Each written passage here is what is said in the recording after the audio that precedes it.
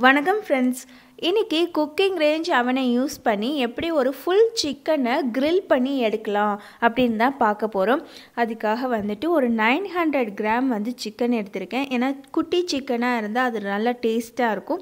So அதனால் இந்த gram எடுத்திருக்கோம். ஸோ இது மேலே இருக்கிற கொழுப்பை வந்து நம்ம ரிமூவ் பண்ணிவிட்டு க்ளீன் பண்ணிக்கலாம். இதை வந்து நல்லா மஞ்சத்தூள் போட்டு நல்லா கழுவி வச்சுருக்கோம். இப்போ இதுக்கு வந்து நம்ம மசாலாஸ் வந்து நம்ம ரெடி பண்ணிக்கலாம். இஞ்சி பூண்டு பேஸ்ட்டு ரெண்டு டேபிள் ஸ்பூன் தயிர் ரெண்டு டேபிள் ஸ்பூன் அப்புறம் உப்பு அப்புறம் காஷ்மீரி சில்லி பவுடர் அப்புறம் கரம் மசாலா பெப்பர் அப்புறம் தந்தூரி மசாலா கொரியாண்டர் பவுடர் மிளகாய்த்தூள் மஞ்சத்தூள் ஸோ எல்லா பொடியும் எடுத்துருக்கோங்க இருக்கிற ரசப்பொடி சாம்பார் பொடியை தவிர சிக்கனும் ரெடியாக இருக்குது இப்போ ஃபஸ்ட்டு இந்த ட்ரை மசாலாலாம் நம்ம ஒன்று சேர்ந்து கலந்துப்போம். அப்போ தான் நல்லா ஈவனாக மிக்ஸ் ஆகும். ஸோ உங்களுக்கு ஏற்ற மாதிரி நீங்கள் காரம் உப்புலாம் நீங்கள் கூட்டி குறைச்சிக்கலாம். ஸோ அதனால் நான் அளவெல்லாம் சொல்லலை. இப்போ இதெல்லாம் கலந்தக்கப்புறம் இப்போ இதில் வந்து ரெண்டு ஸ்பூன் வந்து தயிர் ரெண்டு டேபிள் ஸ்பூன் வந்து தயிர் ரெண்டு டேபிள் ஸ்பூன் வந்து இஞ்சி பூண்டு பேஸ்ட்டு ஒரு அரை மூடி எலுமிச்சம்பழம் வந்து புளிஞ்சு விட்டுக்கிறேன். இதை நல்லா கலந்துக்கலாம். நம்ம தண்ணி எதுவுமே சேர்க்க தேவையில்லை. கொஞ்சமாக எண்ணெய் மட்டும் ரெண்டு ஸ்பூன் சேர்த்துக்கலாம். இந்த எண்ணெய் சேர்க்குறனால மசாலா வந்து ஈஸியாக ட்ரை ஆகாமல் இருக்கும். சிக்கனோடையும் நல்லா மசாலா போய் ஒட்டிக்கும். அதுக்காக தான் கொஞ்சமாக எண்ணெய் சேர்க்குறோம். ஸோ இப்போ நல்ல காரம் புளிப்பு சேர்ந்த மசாலா வந்து ரெடி ஆகிடுச்சு நம்ம சேனலில் ஏற்கனவே கட் பண்ண சிக்கனை வந்து க்ரில் பண்ணியிருக்கோம். இன்றைக்கி தான் வந்துட்டு ஃபுல் சிக்கனை வந்து ஃபஸ்ட் டைமாக நாங்களும் க்ரில் பண்ணுறோம் முக்கியமாக அந்த க்ரில்லிங் ஆப்ஷனு ஸோ அதெல்லாம் தான் நம்ம எப்படின்ட்டு நம்ம பார்க்க போகிறோம் ஸோ குட்டி சிக்கன் தான் நல்லா டேஸ்ட்டாக இருக்கும். அதனால் குட்டியாக எடுத்திருக்கோம். ஸோ இந்த மசாலா வந்து எல்லா இடத்துலையும் படுற மாதிரி அப்ளை பண்ணிக்கலாம். ஸோ நல்ல கால்லலாம் அங்கே அங்கே கீறி விட்டு நம்ம மசாலா அப்ளை பண்ணால் நல்லாயிருக்கும் இது வந்து ஒரு த்ரீ ஹவர்ஸ் ஆச்சு ஃப்ரிட்ஜில் வச்சு நம்ம ஊற வைக்கணும். இப்போ வந்து நாங்கள் முன்னாடியே கீறி விடுறதுக்கு மசாலா தடவுறதுக்கு முன்னாடியே கீறி விட்டுருக்கணும். ஸோ அப்போ வந்து மறந்தாச்சு. இப்போ வந்து லைட்டாக கீறி விடுறோம். இது ஏன்னு பார்த்தீங்கன்னா மசாலாலாம் நல்லா உள்ளே போய் இறங்குறதுக்காக தான். இன்றைக்கி இந்த சிக்கன் வந்து எங்கள் கையில் மாட்டிட்டு படாத பாடுபட்டுருச்சுங்க இங்கிட்டு திருப்பி அங்கிட்டு திருப்பி அது ஒரு வழி ஆயிடுச்சு. நாங்கள் எப்போவுமே வந்து கட் பீஸ் வாங்கி அதில் க்ரில் பண்ணியிருக்கோம்.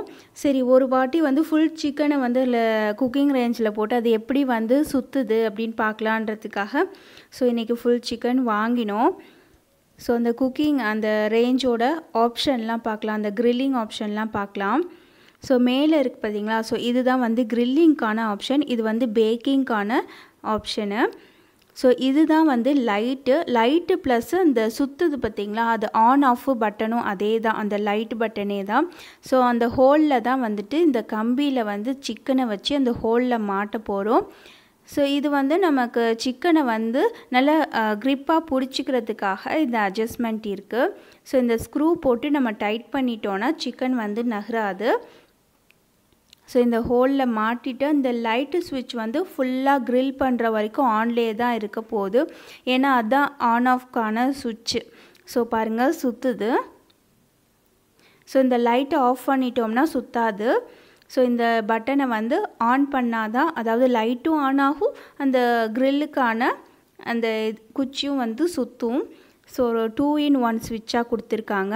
கீழே வந்து அந்த ட்ரேயில் பேப்பர் இல்லை நியூஸ் பேப்பர் ஏதாவது நம்ம போட்டுக்கலாம். ஏன்னா வந்து சிக்கன்லேருந்து எண்ணெய் ஊற்றுறதெல்லாம் அதில் விழுகும். ஸோ இப்படி தான் தீக்குச்சி வச்சு நம்ம வந்து பற்ற வச்சுக்கிறோம். மேலே க்ரில்லிங்க்கு நாங்கள் மீடியமுக்கும் ஹைக்கும் நடுவில் டெம்ப்ரேச்சர் வச்சு ப்ரீஹீட் வந்து பண்ணிகிட்ருக்கோம் ஒரு சைட் ப்ரீ ஹீட் வந்து ஆயிட்டுருக்கு. ஸோ இப்போ இந்த சிக்கனை வந்து அந்த குச்சியில் வந்து போட்டுக்கலாம். ஸோ ஒரு வழியாக எதுவும் படாத பாடம் பட்டு ஊறிடுச்சு. ஒரு மூணு மணி நேரம் ஃப்ரிட்ஜில் வச்சு ஊறிடுச்சு. இப்போ இதை எடுத்து அந்த ஸ்டிக்கில் வந்து போட்டுக்கலாம். ஸோ ஃபஸ்ட்டு வந்து இந்த ஸ்டிக்கில் வந்து ஈஸியாக போயிடும்.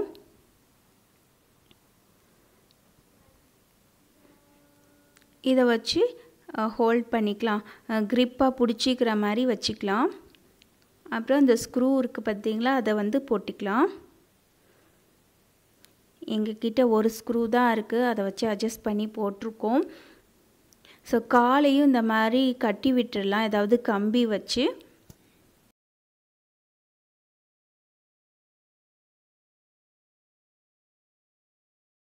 ஸோ மீடியம் ஃப்ளேமில் வச்சு ஒரு தேர்ட்டி மினிட்ஸ் கிட்ட ஃபஸ்ட்டு வந்து வைக்க போகிறோம் அந்த ஹோலில் வந்து மாட்டி விட்டுடலாம். ஸோ ஃபிக்ஸ் பண்ணியாச்சு. ஸோ வந்து இப்போ ஸ்டார்ட் ஆகிடுச்சு பாருங்கள் இப்படியே சுற்றி சுற்றி நல்லா ஃபுல்லாக வந்து ரோஸ்ட் ஆகி வந்துட்டுருக்கு.